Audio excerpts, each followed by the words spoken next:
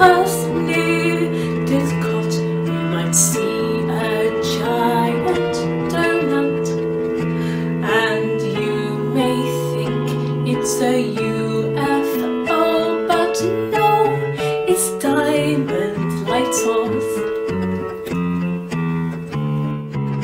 We have a machine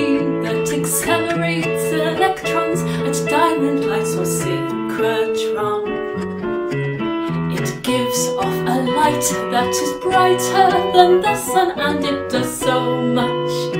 Once it goes through the optics hutch, there it shines down the beam line where scientists work all day long.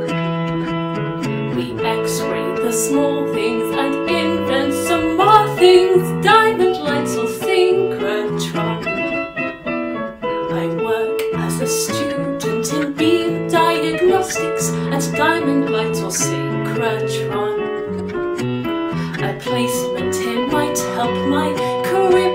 prognostics. I've learned lots for sure. Building my Halo monitor, my machine will image the beam to see where the particles have gone.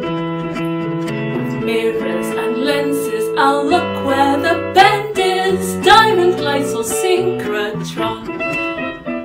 We use the bright light to look so deep inside things at diamond light source synchrotron.